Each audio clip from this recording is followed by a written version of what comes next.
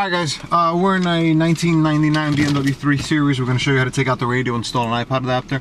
In this case, we're doing the Dension uh, GW1 uh, GW1L BM1. Uh, so let me show you real quick how it works. Alright, uh, first thing you do is pop out your panel trim. This thing looks like it's been wrapped, so it's probably going to come out pretty easy. Uh, usually what you do is you go in here, and yeah, it's going to come out really easy. Alright, so you pull up, and you just Good. Well, this one's not that easy, so I can actually show you. All right, so pretty much just pull up, and then, good. So this is the way usually they all usually come out. Just gotta pry up, pry up, and that's it. So the way it works is that this piece goes into this plastic, and it expands, and the plastic holds it. All right, let me go back one more actually. From brightness, I can tell you it's gonna be too dark. All right, so this one goes into here. As you can see, this one um, uh, from getting taken in and out kind of got caught in there. And then this one actually, somebody, it just got broken off. Uh, usually that means that instead, usually that means instead of prying forward, people sometimes what they do is they pry upward, and when you pry upward, it snaps. Okay. All right, guys. Now that you got the uh, that piece out, this is the next piece to come. Oh well, this piece has another one like this here. So this is supposed to be in there, and this comes out Like whoever, when uh, customer said he bought the car wrap, so I guess whoever wrapped it just didn't know how to take the pieces out. But yeah, usually what you gotta do is you gotta come in here and you pry here and you pull, okay? All right guys, next step now is to take out the radio. If you notice here, there's two Phillips head screws, one on each side. All right, they come out counterclockwise. And also, just remember that these screws have a little pan head on them. I don't remember this. I think there's other screws on the bottom. But always separate your screws so you know what went where. In this case, I don't think it matters, but in some cases it, it will matter. Alright, and this gets pulled out. Once you pull this out, you look over here. Let me just see if I can get a little more slack. Alright, make sure there's no CDs in there, because last thing you want to do is get a CD stuck. I thought these cars came on. Yeah, because what happens if you turn the uh, CD around, you can actually get it stuck.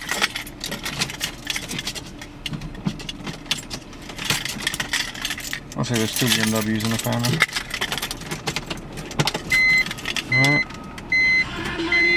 Yep.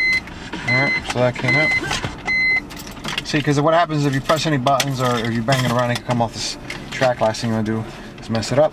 Alright, so once you do that, you come over here. This is your antenna. Alright, this is your secondary antenna. All right? Make sure you try to pull that straight out as possible. And then as far as this you just pull up on here and what this will do is as you pull up it'll come out okay? So that goes out like that. That's the back of the radio. All right. I'll push that back. Um, this I believe just pops right out. Yep. This pops right out here. Let me make sure you guys can see. Um, nope you can't. In one second. All right so so that popped right out. Now all you have to do now is you have to, these connections over here. So this one just comes straight out. There's a side tab. All right. Push that and it comes right out. Over here the same thing. Uh, over here you're going to push this in. This comes out like this. Alright. And then down here, this one just comes straight out. Okay, so this is the uh, older style cluster. It's a little bit bigger. The newer style is a lot more short. All right. All right, guys, now that we got that cluster out, next thing is take out the one, two, three, four screws. All right. Uh, these screws are actually shorter than the ones we took out before. So if you look over here, uh, they're going to be shorter. So make sure you keep those separate from the uh, two that hold in the radio.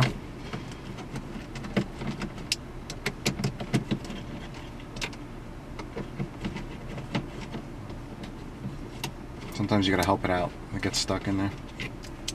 Alright.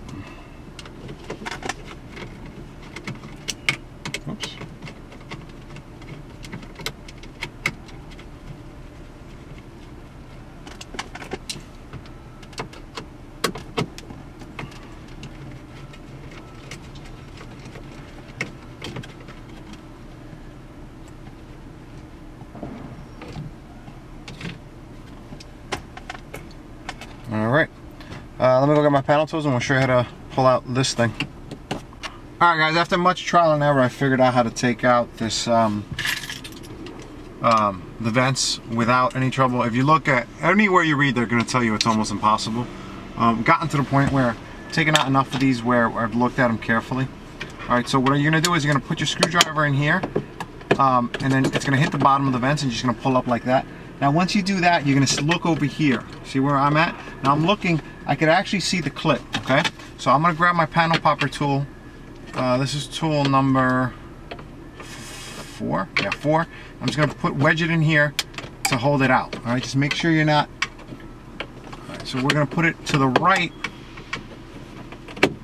of that. All right, and then we're to come over here and we're to do the same thing. So push to the top until you hit the bottom. So, all right, you're to go past here, hit the bottom, and now we're going up. And once you do that, these two clips release right here. Okay, you can see one. You can see right here. You can see one and two. All right, these are released. And once you get over here, what you're to do is you're to pop this up. All right, this is a metal clip. Drop that. This is to pull outward. And then you're to come over here. And then this right here is going to pull it up. All right. So what the biggest problem here is these two little clips. They're designed to once you go in there, just lock. All right. So that's a problem we're having. Right. Once you do that, you can actually just pull this right out. This comes right out. And now we're to uh, run the, uh, the harnesses. All right, now that we got that out, what you're gonna do is you're gonna come over here. This is the factory connector. All right, you're gonna just plug this. It's gonna go right into here. Oh, backwards. All right, you're gonna match these up. All right, and then this is gonna go into here. Usually, you see how it has a little slot right here? That little slot goes up towards where your fingers are at. And then once you squeeze these two together, you'll see it'll push in. So one, two, three, four are locked in. All right, now um, this audio connector has to go in here. Uh, this goes behind the radio. I'm gonna put this in right here, uh, right now. So what's gonna happen is the wires, the black and white wires, are gonna go towards the left of the connector or towards the center of the radio, however you wanna look at it. All right, so let's, uh, now we got that all done. And, oh, this comes with a little, let me cut this tie, I'll be right back. All right, guys, so I got the uh, clip out, cut it up. Uh, wasn't that big of a deal. All right, uh, before we connect everything, I'm gonna show you how to run the cables. So I'm gonna do right now is I'm gonna grab this panel tool and I'm gonna pry it up here. Just move it so my big head's not in the way. Ah, you can't. All right, so I'm just gonna pry right here, pull it up, and then once we get it in, I'm gonna twist it. You twist it sideways, what it does, it opens up the gap. Uh, iPod cable should go up no problem. Whoops. All right, it's a little tight, but keeps twisting. All right, iPod cable you can use. It's it's stiff enough where you can usually just push it up and find your way up. Um.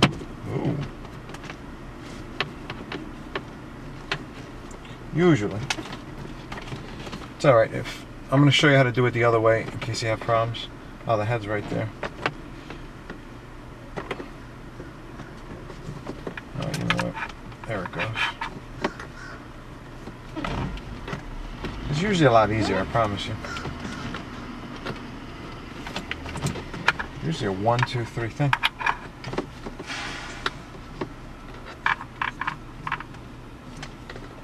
Oh, that's why. All right, so what I had to do is I had to twist this back because it was so going straight up, it was just hitting here. So now, once I did that, it came up right into my hands. That's what it was. All right, so now I'm gonna show you the easy way of doing it. This is a grabby tool. Uh, you can probably get these at your local hardware store. Um, we have a couple in stock, so if you want them, I just call us up, we can sell it to you. So what I'm gonna do now is I'm gonna grab, well let's do the grabby tool backwards because it doesn't really matter. So what we're gonna do is we're gonna push it up through here. This probably is an official word for this, but I've called this a grabby tool since I started in the industry, like 15 years ago. So, well, not 15. When I started this maybe 10, 12, 13 years ago. Uh, so we're doing the aux cable. All right, so I'm gonna grab the aux cable through here. Always leave a little slack on the end, so right to the end. All right. I'm gonna go right here. This comes in.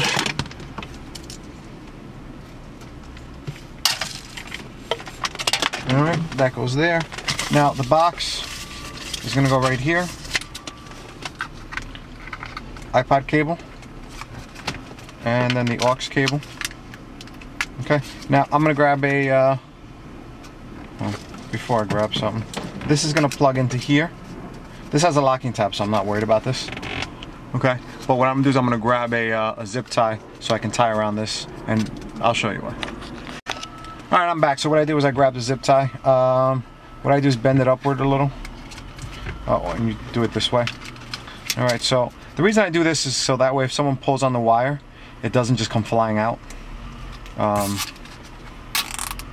see, give it a little snugness.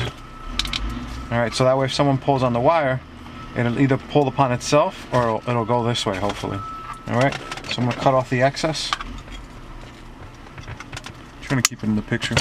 What happens, I always do the videos and then when I come back to them, um, pull this snug. You can always push back whatever you don't use.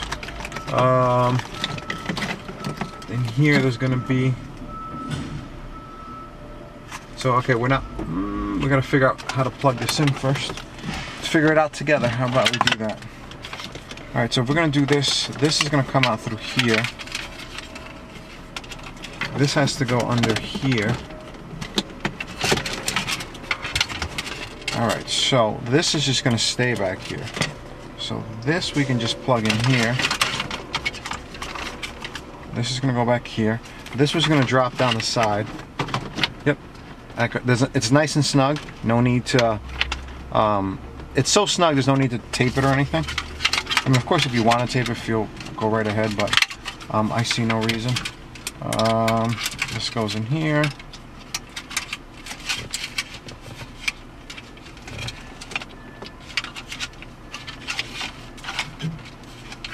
All right, so now these two,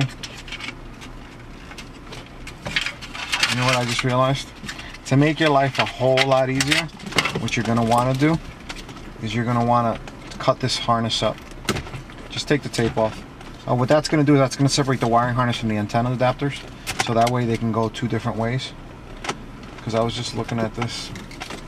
Sorry guys, this is like the eighth video I've done in the 3 Series and every time I do them, I do them better and better because it's funny because every time I do a video I learn a couple things. I'm like oh you know what? I'm not going to use this video because next time next car I'll do I'll do a better video. So this video is pretty good. We'll see if it makes the cut. Um, I'll decide when I see it.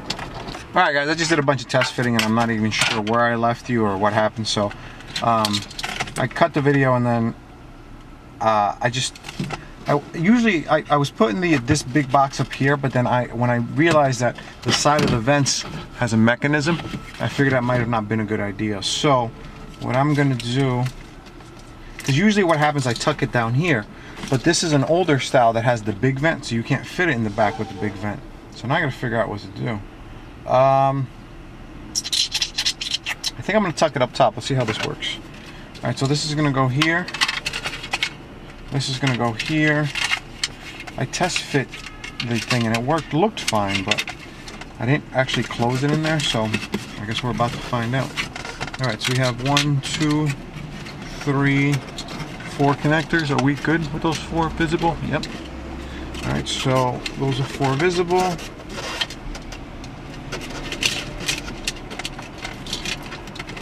All right, then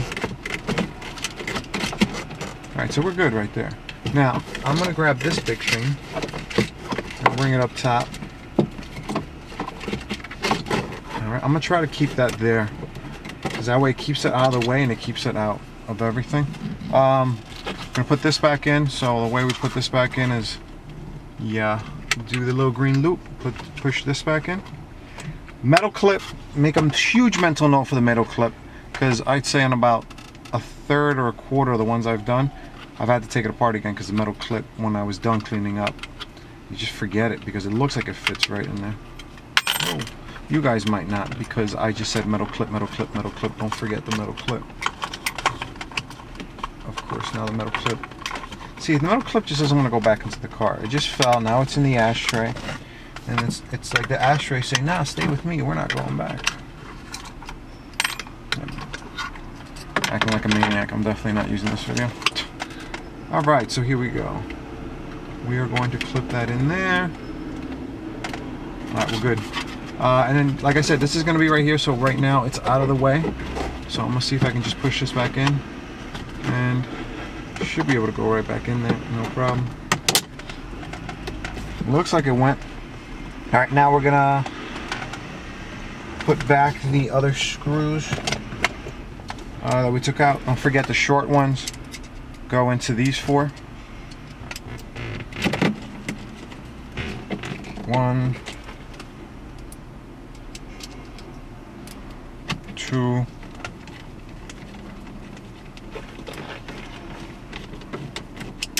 three,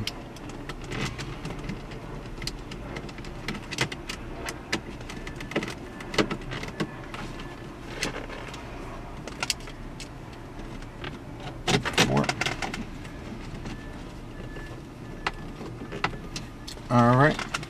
So now we're gonna put the climate control back in. Climate control has black connector.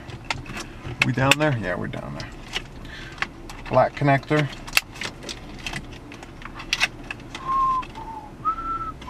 Another black connector. And now we got the big multi-pin.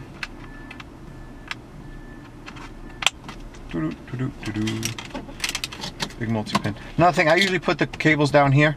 Uh, this customer didn't want to do that because the uh, he's never going to put his iPod cable away, so he just decided it, he wanted it there. So, you know, of course, whatever the customer wants, it's your car. You're the one that's spending time in it.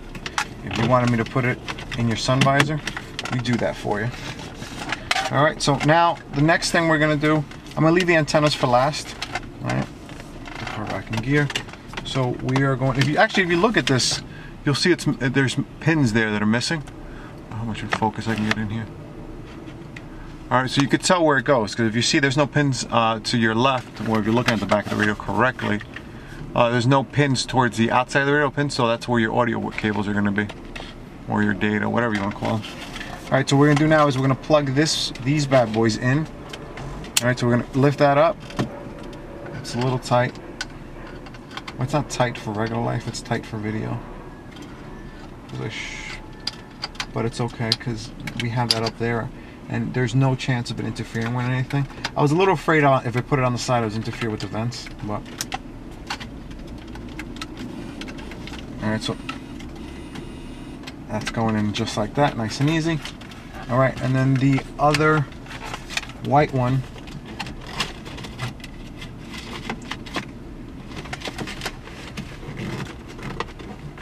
sure you keep track of it because I just lost it. There it is. All right, so we're gonna put this in. The black wire is a loose ground. Um, if you experience engine noise, give us a call and we'll figure it. We'll help you out with that. I've never ever had to use it, but pretty much if you experience ground, I think you're supposed to ground that. But call us up before you do. We'll walk you through some other stuff. Right, we're gonna plug in the one antenna and then antenna number two. Alright, and I'm going to push this bad boy back in. Nice and smooth. That's why we do it. Um, first, first one of these I did. I tried to get that back in. I fought with it for like good 45 minutes, and eventually I did get it back in. But, I mean, it's easier to just do all this than to wrestle with something like that, you know what I mean? Alright, um...